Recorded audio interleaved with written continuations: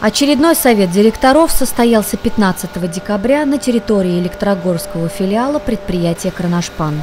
В нашем городе он существует с 2013 года, и за это время было запущено производство нового пресса ДСП, построены складские помещения, введена в эксплуатацию линия ламинирования, подведены железнодорожные пути и активно производится отгрузка продукции на экспорт.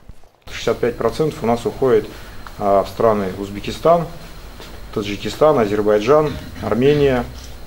В принципе, все.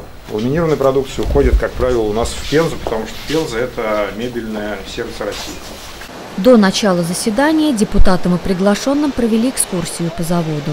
Технический директор Сергей Антошин рассказал о работе предприятия, о тонкостях производственного процесса и перспективах развития. Делегация прошлась по цехам завода.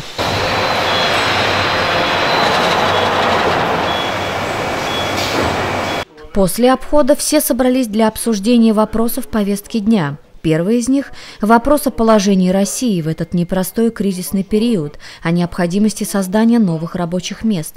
Депутат Государственной Думы Валентина Кабанова отметила высокий уровень завода «Кронашпан», который соответствует европейским стандартам. Депутат наградила директоров предприятий благодарственными письмами от Государственной Думы и памятными подарками. Ну, а я так каждому из вас, как руководители, маленькие сувениры Государственной Думы, часы вот такие, потому что вы знали, счастливых часов не наблюдает, чтобы были самыми-самыми счастливыми.